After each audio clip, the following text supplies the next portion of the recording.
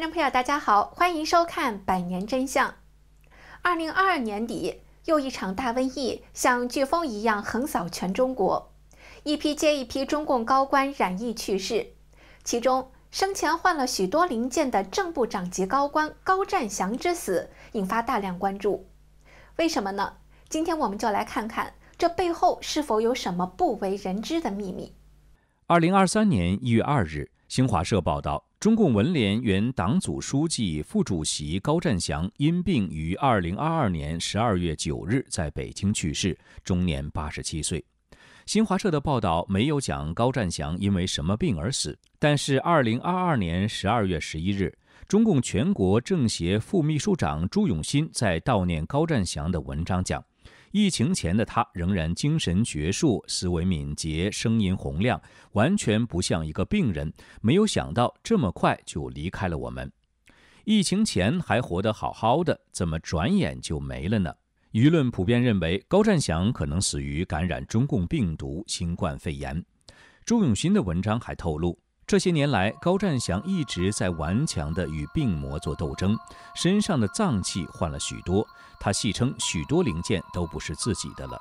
高占祥将移植到自己身上的许多器官称为许多零件，讲得非常轻松。但是，一个健康的器官或许涉及另一个人的生命，许多健康的器官或许涉及许多人的生命。高占祥死后，网上质疑声不断，很多人在问他身上到底移植了多少器官，这些器官是从什么渠道来的？他换的许多零件到底是谁谁谁的？是在哪些医院换的？是哪些医生换的？换这些器官花了多少钱？像高占祥这样换了许多零件的中共高官还有多少？是否与活摘器官有关？因为中共政治不透明，这些质疑我们很难从中共当局那里得到答案。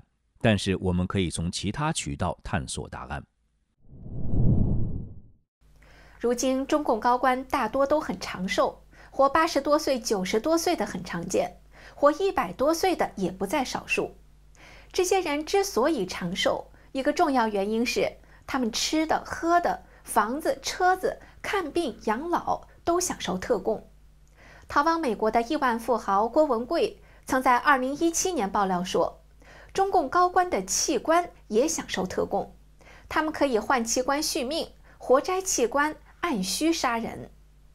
郭文贵披露，前中共党魁江泽民的长子江绵恒先后换了三四肾，杀了五个人。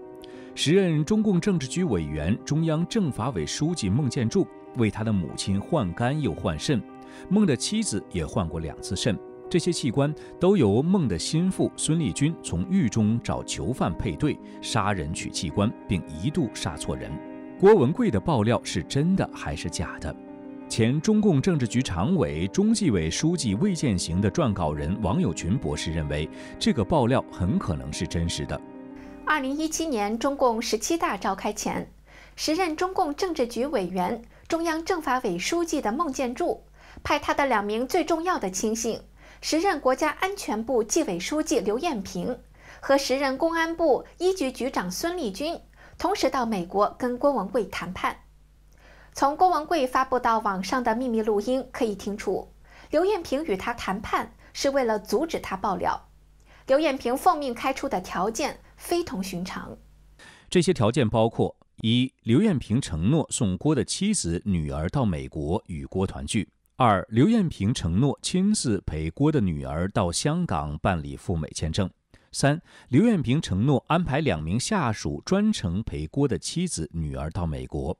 四，二零一七年五月一日，郭的妻子、女儿在刘艳平安排的两名国安官员陪同下，顺利抵达纽约与郭团聚。刘艳平奉命开出的条件还有很多，时间关系，我们就不一一列举了。要知道，当时郭文贵是中共通过国际刑警组织发出红色通缉令缉拿的要犯。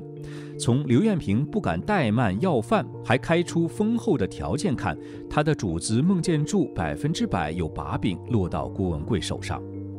当时在华盛顿的孙立军急切地想见到郭文贵，声称不见到你不死心。郭文贵问孙立军带的几个人可不可靠？因为我们会谈到九十一本腐败问题证据涉及到的一些内容，包括咱们孟老板的一些事，谈了以后安全吗？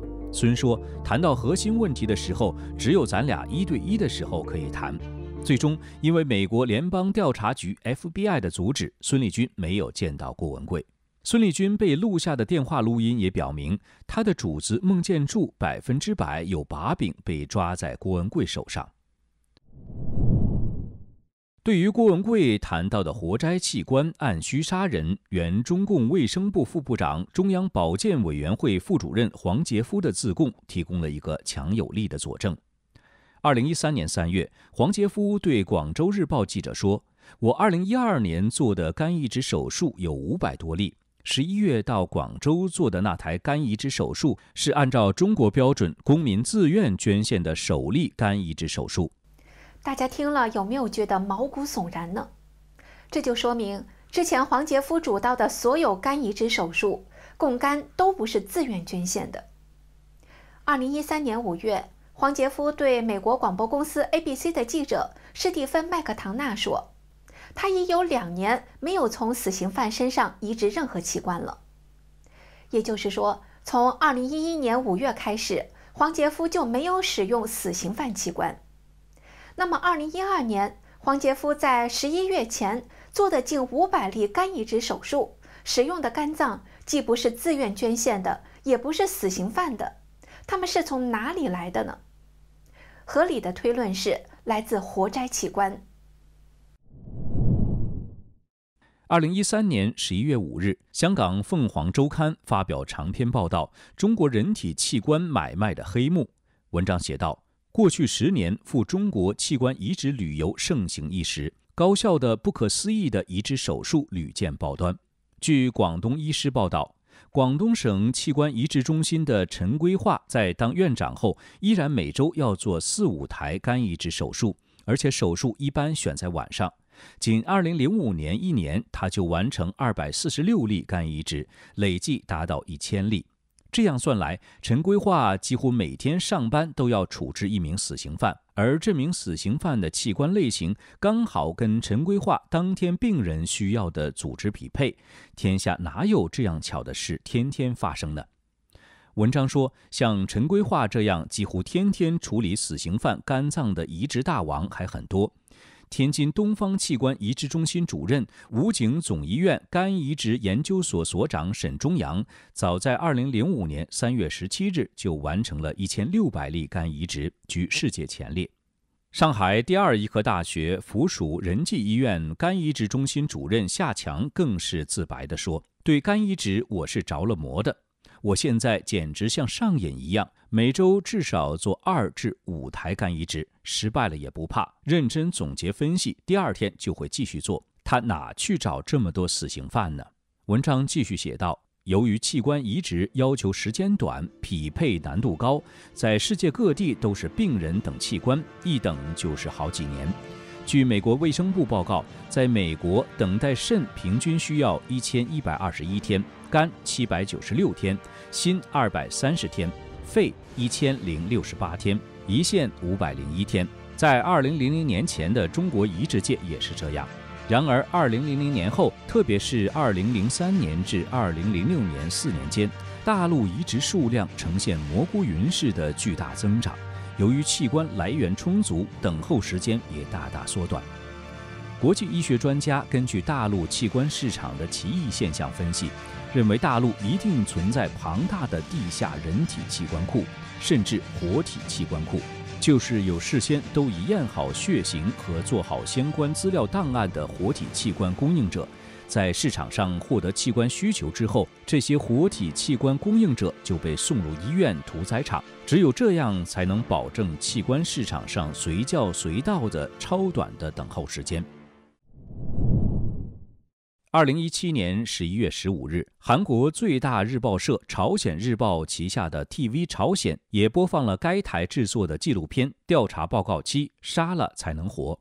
纪录片是在对两万名赴中国移植器官的韩国人调查的基础上制作而成。这部纪录片说，韩国等待器官移植的患者约三万两千人。韩国患者赴中国接受器官移植始于2000年。中国医院开出的价码是：肝移植三亿韩元，约合两百万人民币；肾移植两亿韩元，约合一百三十四万元人民币。